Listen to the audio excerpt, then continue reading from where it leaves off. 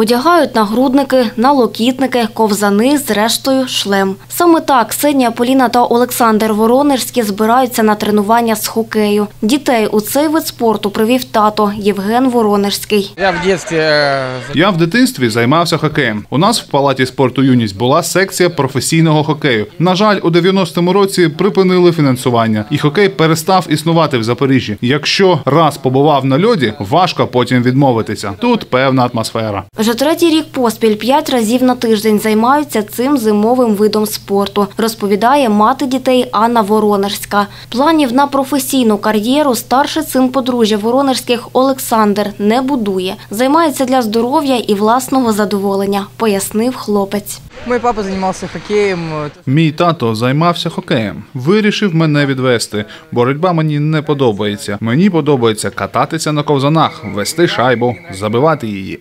А ось молодші Поліна та Ксенія навпаки мріють професійно грати, розповіли дівчата. Завдяки хокею я навчилася е, кидати в ворота та дуже швидко їхати. Тут е, дуже багато мальчиків і можна познайомитися з ким. Ще тут дуже хороший тренер. Це спорт, я можу навчатися кататися. Я шайбу забиваю в ворота.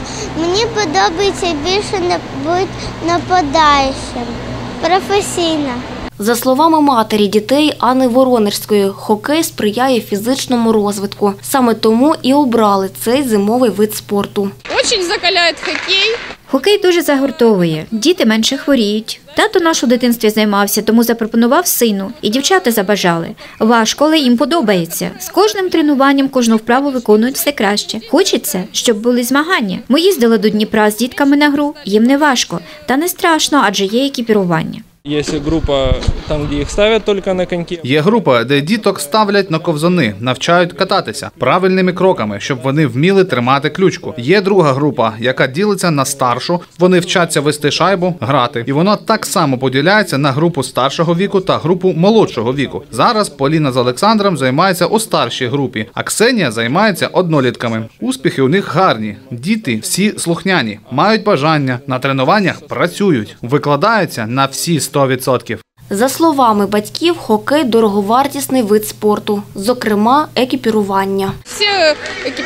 Нам э, Усе екіпірування нам видає клуб, щось купуємо самі. Якщо повністю купувати нове спорядження, воно дуже дороговартісне. Тому ми шукаємо вживане, але в гарному стані. Тому що краги, тобто рукавички, протираються, діти зростають, а клюшка має бути певного розміру, щоб діти могли правильно їздити і тримати шайбу на льоді. Тому спорядження весь час треба оновлювати. Можно ребенка одеть Дитину можна одягнути, якщо своя форма приблизно за 10 тисяч гривень. Це нормальна звичайна форма. За словами батьків дітей Анни та Євгена Воронежських, проблемою хокею у Запоріжжі є відсутність тренувань влітку, адже на катку вони відбуваються з жовтня до квітня.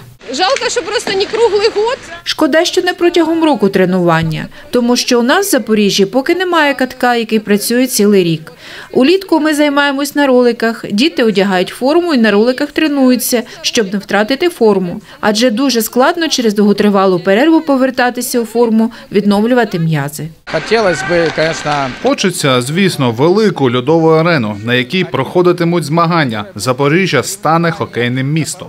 Тож нині родина Воронежських чекає на ще одну льодову арену в Запоріжжі, аби мати змогу тренуватися упродовж року.